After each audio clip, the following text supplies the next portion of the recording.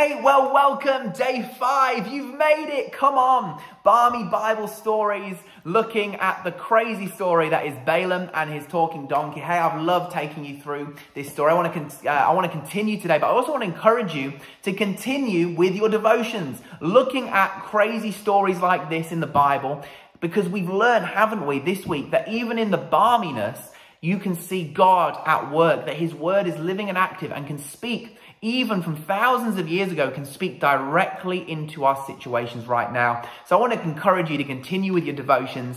It's been my honor to take us through this story, but we're not done. We have our fourth lesson found in Balaam and his talking donkey, Numbers 22. Go back, if you're first time watching this, go back to the other days, see the context, get all the other lessons. But day five, lesson four is this. God has given us his word. On a few occasions in this story, we see Balaam going to God and asking him for direction. And God, quite clear on a few occasions, gives him the direction. Only do what I'm telling you to do, and only say what I'm telling you to say. In fact, in verse uh, 38, uh, of Numbers 22, Balaam explains this to King Balak. King Balak, we, we learn, is the king of the Moabites. He wants uh, his help, Balaam's help, to curse God's own people.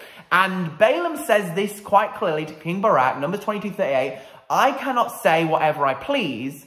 I must speak only what God puts in my mouth. Balaam had many faults. My goodness me. He was a, an interesting character. In fact, the Bible clearly tells us that he's not really a man to be admired. He was a prophet, but a wicked prophet who did wicked things. And the Bible warns us of living a life like Balaam's. However, I would say that there is one thing here we can see that Balaam had some revelation on is that God's word carried more power than his words. God's authority spoken, God's words spoken by him carried more authority than his own words. And in our lives, it's exactly the same. God's word carries more authority and power than we can imagine. It carries more power than our own words being spoken because God's word carries the anointing of the king. God spoke, an entire universe was created. His word, just a word from him, has the ability to change everything. Hebrews 4 12 in the message says this God means what he says, what he says goes. His powerful word is sharp as a surgeon's scalpel, cutting through everything, whatever doubt or defense, laying us open to listen and obey. Nothing and no one can resist God's words. We can't get away from it no matter what. We have access to God's word. It's called the Bible. God has given us his word. He's given us a word that is not dead and just pages on a book, but it's living and access and living and active. And not only that, but God has given us access to speak directly to Him through prayer and receive words of prophecy and affirmation uh, and encouragement from heaven itself.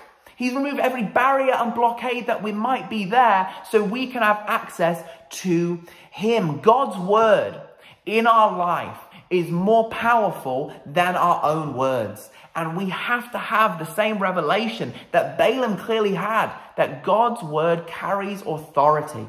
God's word carries power. Just one word from God can change everything. So, what's he saying to you? Would be my question for today. What is he speaking to you about?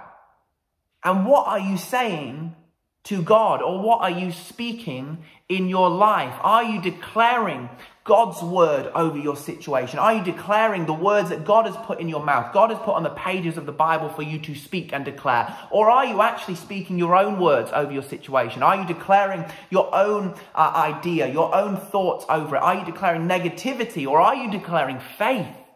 God's word has power. God's word carries authority. And my challenge for you at the end of this devotion is to take some time and get a word from God to speak over your current season. I don't know what you're walking through, but I do know that no matter whether your season is in the valley or the mountaintop, you need a word from God to declare over it. So I want to challenge you today to, after we, after we finish this in a second, to go and get a word from God's word, to get a scripture that you are going to declare and prophesy over your situation and circumstances. Maybe you actually need to go straight to God and pray and say, God, I need a word direct from heaven to speak over my current season. I don't know which way you want to do it, but what I want you to do is to declare the word of God over your situation. And I want you to do that today. For the next couple of weeks, take that word, write it down, and prophesy it, declare it, speak it over, because we've learned that God's word,